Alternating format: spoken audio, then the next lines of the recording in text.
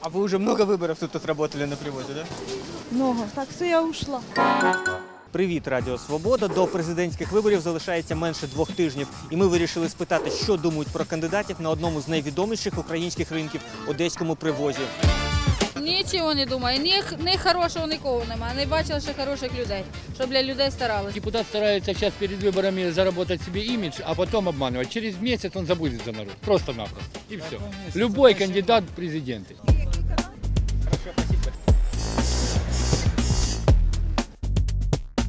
Цены будут еще больше. Победит тот, кто себя наметил в победитель. Он же написано, как кандидатов там. Ну, в общем, учение свет, а депутатов тьма. На.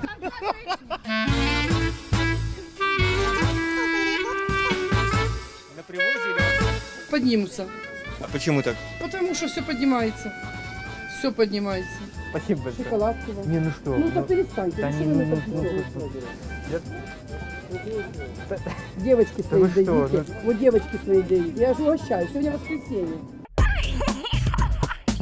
Вы знаете, я на эту тему стараюсь не общаться, потому что переходит все в негативный разговор. Не верю ни одному из них. Не знаю, сонечко. Лабання то, настояще лабання то море, стоїть 30 рублів кілограм. Это тюлечка 40 і 45. Міді, это 50.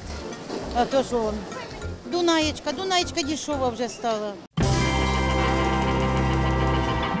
Я думаю, что доллар чуть повысится, потому что они, видать, сейчас, они же специально искусственно занижают, повышают, а кто-то играет на курсе.